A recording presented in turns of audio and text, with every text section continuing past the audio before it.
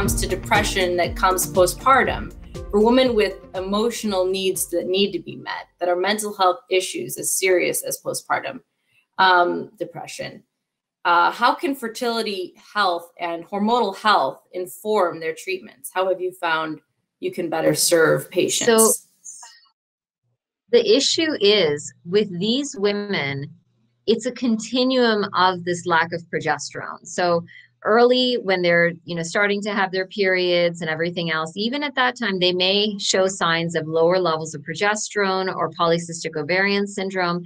As they get older then their cycles will become more irregular more tail end brown bleeding. They may have uh, issues when they're trying to conceive and then when they actually do conceive they may have issues with recurrent miscarriage or preterm deliveries all because of lack of progesterone. And then once they get through the pregnancy then they have issues with postpartum depression. And so it's really important to have this understanding even before you get pregnant or before you hit that point of postpartum depression. If you're coming to us and you've never heard of any of this information and you now have postpartum depression, most likely it's because of a lack of progesterone.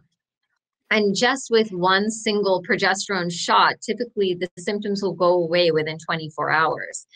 And for those of y'all who cannot take shots or don't want to take shots, you can even have an oral treatment with progesterone, and all of those things help.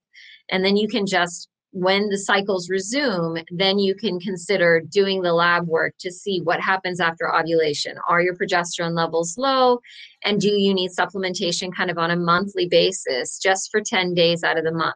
Not nothing that would in any way kind of postpone your cycles or shut down ovulation or cover up the issues, but rather something to just come up underneath and support your cycle.